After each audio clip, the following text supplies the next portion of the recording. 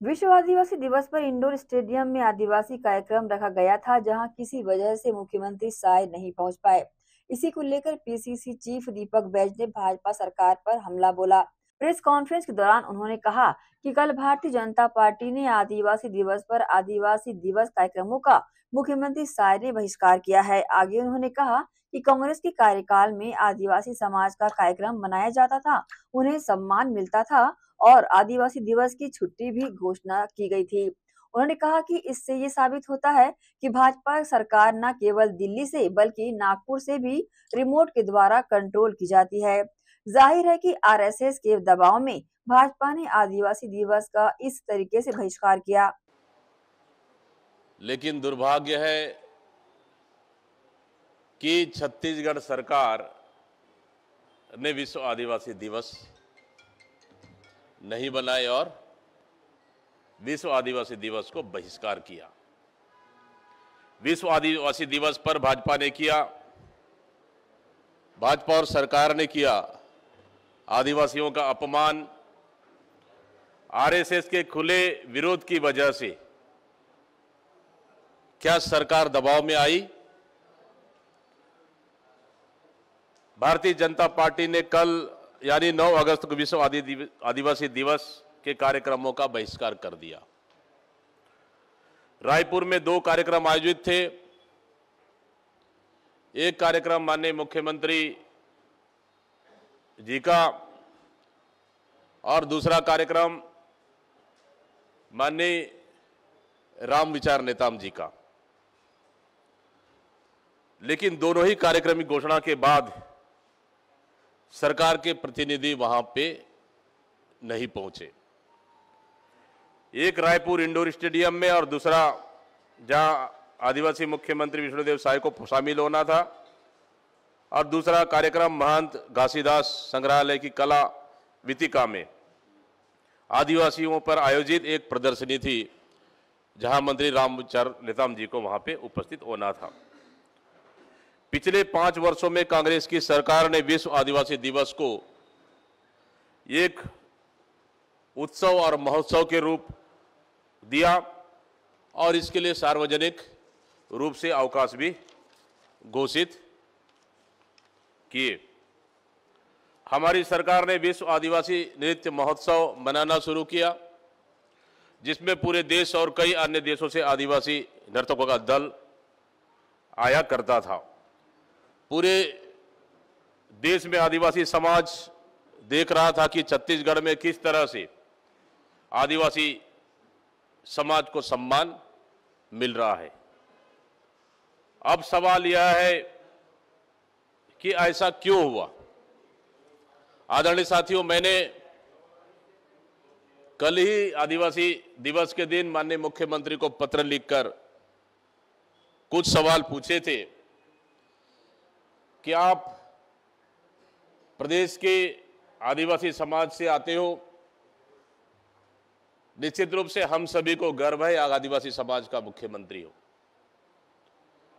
लेकिन आदिवासी समाज आपके इस सात से आठ महीने के कार्यकाल से नाराज़ है।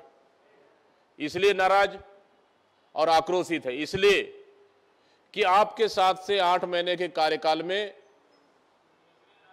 बस्तर के आदिवासियों को लगातार फर्जी नक्सली के नाम से फर्जी एनकाउंटर, फर्जी सरेंडर, फर्जी नक्सली नाम से जेल भेजना, जो पंद्रह साल की सरकार में आपकी सरकार ने किया, वही आपने इस आठ महीने की, सात से आठ महीने की सरकार में भी आप कर रहे हैं। बस्तर से लेकर सरगुजा तक मलेरिया और डायरिया से हमारे आदिवासी भाई बहनों की मौत हो रही है। लेकिन सरकार इस मौतों को लगातार झूठ बोलकर छुपाने में लगी हुई है। देव, अरण्य जंगल का काटे, जंगल को काटे जा रहे हैं। आपने कटाई की अनुमति दी। वहाँ के आदिवासियों को उजाड़ने का काम आपकी सरकार कर रही है। इस पे आप कुछ भी नहीं बोल रहे हैं। इसीलिए आदिवासी समाज आपसे आक्रोशित है। मैंने कल ही, पहले ही मैंने कहा था। उसी का नतीजा है कि कल मुख्यमंत्री जी आदिवासी दिवस के दिन आदिवासी समाज के कार्यक्रम में नहीं जा पाना, ये कहीं ना कहीं सबसे बड़ा उदाहरण और सबसे बड़ा कारण है। मेरा सवाल है, ऐसा दरअसल हुआ कि अखिल भारतीय वनवासी कल्याण आश्रम के कहने पर आप अगर देखेंगे, कल का पोस्ट वनवासी कल्याण आश्रम का, उन्होंने सीधा सीधा ये पोस्ट है कल वनवासी कल्याण आश्रम का। उन्होंने सीधा सीधा आदिवासी, विश्व आदिवासी दिवस को औचित्यहीन करार दिया। यह संस्था घोषित रूप से राष्ट्रीय स्वयं सेवक यानी आरएसएस का एक अनुशासिक संगठन है। यानी आरएसएस ही इसे संचालित करता है। वनवासी कल्याण आश्रम के राष्ट्रीय अध्यक्ष सत्येंद्र सिंह ने एक सार्वजनिक बयान जारी किया। इस बयान को बकायदा उनके फेसबुक पेज पर भी लगाया गया है। इस बयान में उन्होंने कहा कि विश्व आदिवासी दिवस की भारत में कोई औचित्य नहीं है। उन्होंने कहा कि विश्व आदिवासी दिवस कोई अंतर्राष्ट्रीय षड्यंत्र है। इसका मतलब है कि उन्होंने आदिवासी संस्कृति और परंपराओं को मानने से इनकार कर दिया। वनवासी कल्याण आश्रम की ओर से जारी इस बयान को आरएसएस की ओर से दबाव की तरह देखना चाहिए।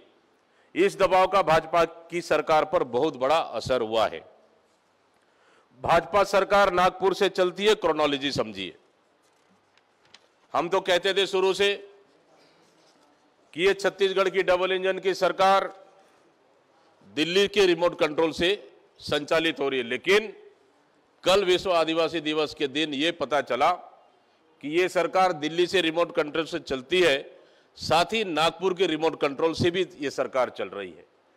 छत्तीसगढ़ सरकार की ओर से हर साल विश्व आदिवासी दिवस, विश्व आदिवासी दिन ज्ञापन जारी किए जाते हैं।